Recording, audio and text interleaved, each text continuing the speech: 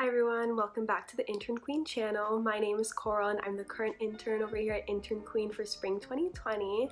Um, just a little bit about myself. I am a senior at the California State University Northridge studying business and fashion and I'm super honored to also be part of Alpha Phi sorority. So the team and I thought it would be super cool to kind of film a how much I spend in a week as an intern in LA, also juggling an internship and going to school. Um, there was a lot of surprises, lots of fun stuff going on this week. So usually not how much I spend in a week, but super cool, super fun things. So let's get right on to the video. I just want to let you guys know that if I'm looking down, it's because I have all the prices of how much I spent this week. So just want to let you guys know that's why. So I did a Monday to Sunday kind of week. So Monday and Wednesdays I am in the office. So Monday morning I knew I needed to put air in my tires. So I was kind of lazy, didn't get up super early in the morning to make breakfast and coffee, so I went to Coffee Bean. So I got an iced vanilla latte and a little pound cake, and that was $9.06. Then headed over to the office, had an amazing day, and had a couple hours before I had to go to my chapter meeting at night. So I usually spend about 175 a month to be in my sorority, but I broke it down per week. So per week it's about $43.56 to be in my sorority and it includes absolutely everything. So I think that's a super good deal for everything that I'm getting. Um, on Tuesday, my classes, two of my classes got canceled, but I did have a class at 12.30 so I had about like three hour break and I was like okay let me do some work. So I went to Dunkin and I got again iced vanilla latte so that was $3.99 and then I went to class went back home and usually me and my friends from my sorority we like to kind of do every couple of weeks a little bit of dinner and was a little surprised. They all texted me like, oh, let's go to dinner. So we went to Cava. It's kind of like a Middle Eastern Chipotle style uh, place. And so that was $11.46.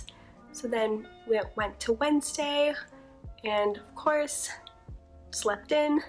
Didn't have time to make breakfast or coffee, so I went to Coffee Bean again and I got an iced vanilla latte and it was $4.29 and then went to the office and then just had a super chill day, no class, no work.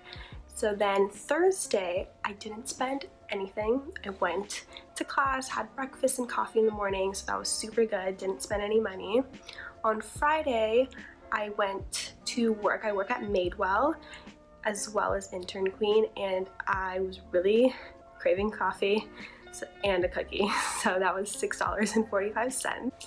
And on Saturday, it was a super fun day. I went to Disneyland, so tickets are 154 so that was a little pricey but it was super super fun super super worth it.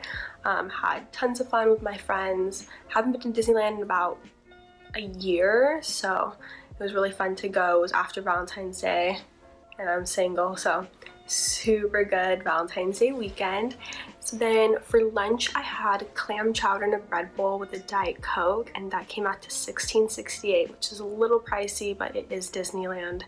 So I kind of knew going in I would be spending a lot. And then for dinner, I had mac and cheese in a bread bowl with a Diet Coke, and that was $17.76. I didn't really have anything throughout the day. I had like water, but I brought a water bottle with me. Um, the bread bowl really really helped keep me full all day long. Um, and then on Sunday, I didn't spend anything as well. So the grand total is $267.25, which was a little expensive, but I kind of knew that going into the week because I was going to Disneyland and I know the ticket's expensive as well as the food. Usually I don't spend that much, but going into the week, I kind of saved up knowing. Well, I hope you guys enjoyed how much I spent in a week in my life as an intern. Hope to see you guys soon. Bye!